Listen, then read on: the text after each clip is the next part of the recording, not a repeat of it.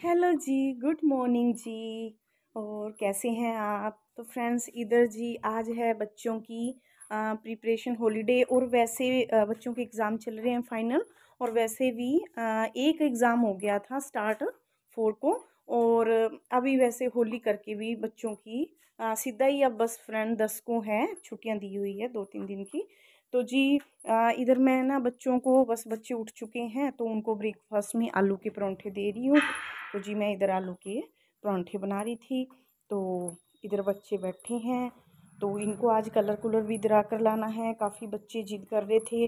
तो एक बार थोड़ा सा मैं पहले ले आई थी। तो आज चलो मैं क्या चलो ये काम कुम करके ब्रेकफास्ट करवा कर और फिर मार्केट जाती हूँ। तो इधर जी देखिए आलू की पिट्ठी बनाई है और कितनी देखने में देखिए कितनी अच्छी लग रही है। मैंने ना चोपर में जो प्याज, अदरक वगैरह है ना छोटा छोटा वो मतलब बड़ा बड़ा चॉप करके ना इसके अंदर डाल दिया। और ये देखिए ये आटा मैंने गूंदा है दूध में, जैसे मैंने आपको अगली वीडियो में भी बताया था।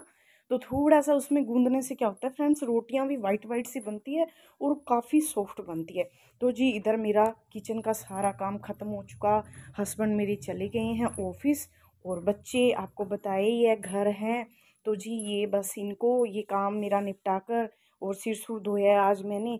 तो बच्चों की छुट्टी करके मैं क्या चलो आज सिर भी अपना धो लेती हूँ आराम से।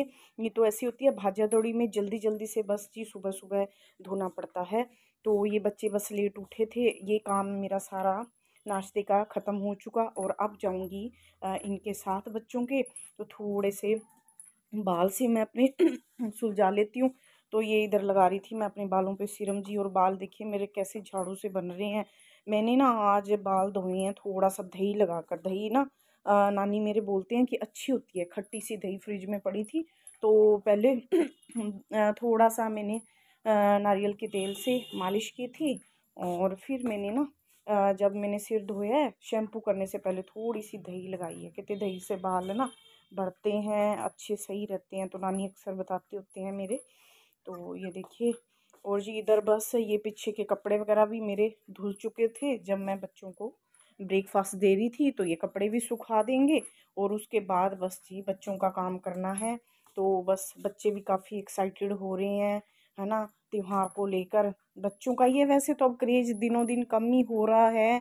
त्योहारों का इतना रहा ही नहीं है, पर बच्चों को थोड़ा सा होता है। मेरे छोटे वाले को है कि मम्मी, मैंने टैंक वाली पिचकारी लेनी है, ये, वो, कलर वगैरह। और कलर भी देखिए कितने अच्छे अच्छे आजकल आ रहे हैं। स्प्रे वगैरह भी है, स्नो है, क्या कुछ चला हुआ है बहुत ज़्यादा। और चलो देखते हैं जाकर क्या कुछ। तो मैं इधर अपने अजीत रोड से ही इधर से ही शॉप देख रही हूँ। देखिए मार्केट कितनी भरी पड़ी है। तो इधर पैदल पैदल ही आ गए थे मैं बड़े वाले बेटे के साथ। तो देखिए कलर्स कैसे लगा रखे हैं।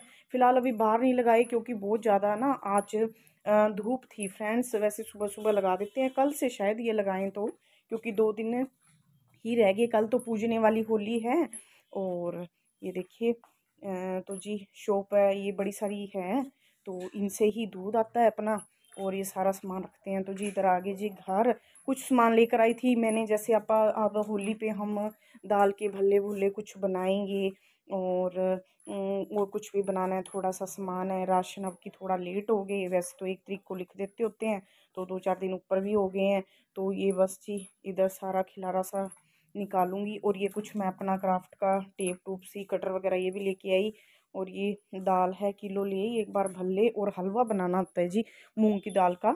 तो वो ले ये देखिए बच्चों के क्या कुछ है स्प्रे स्प्रे पेंट जो कुछ था तो वो भी हम ले आए। पिचकारी है। हम्म। खोल के दिखा इतने। पिचकारी ये नॉर्मल पिचकारी। आग जलाएँगे तो इसके अंदर से मतलब कलर वाला धुआँ निकलेगा।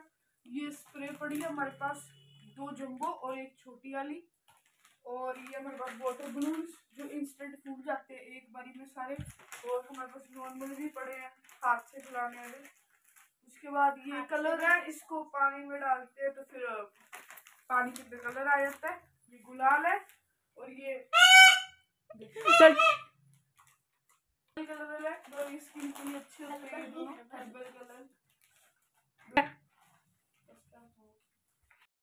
तो जी बस, बच्चे तो ले आए, खुश है अपना पूरा। तो सारा जो कुछ था, इधर मिल रहा था तो वो मैं ले आई जी।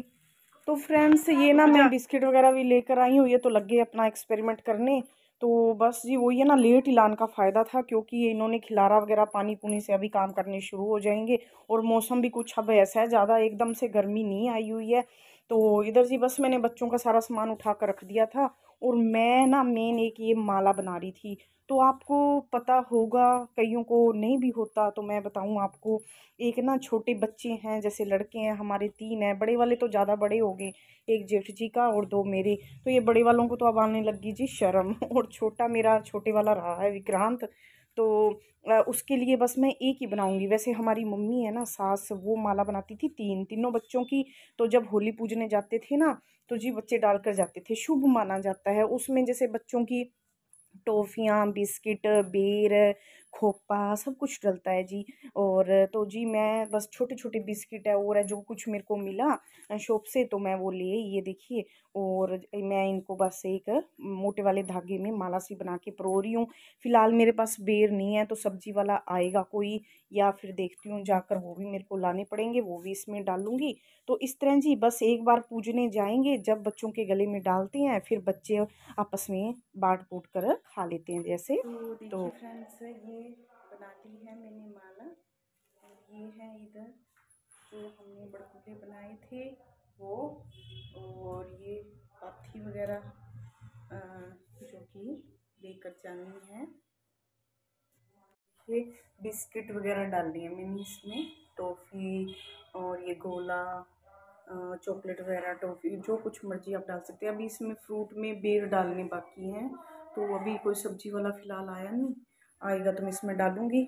और ये देखिए, ये हमने जो बनाए थे चाँद सूरज से, और ये पाथी। तो ये कल है जैसे अपना होली पूजन तो ये लेके जानी है।